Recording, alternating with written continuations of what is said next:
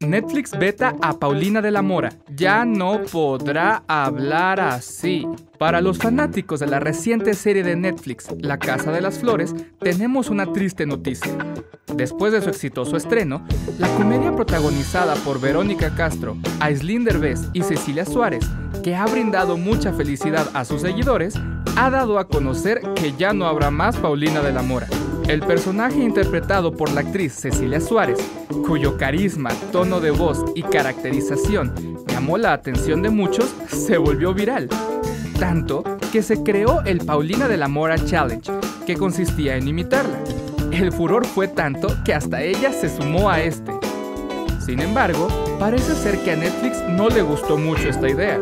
En entrevista con medios nacionales, la actriz mexicana comentó que ya no se le permite imitar la voz de De la Mora, a menos que esté en las grabaciones de la segunda temporada, ya que el personaje le pertenece a ellos. No es que lo prohíban, pero Netflix tiene sus estrategias muy claras, aseguró. ¿Extrañarás a Paulina de la Mora en redes sociales? Encuentra más notas como esta en exafm.com.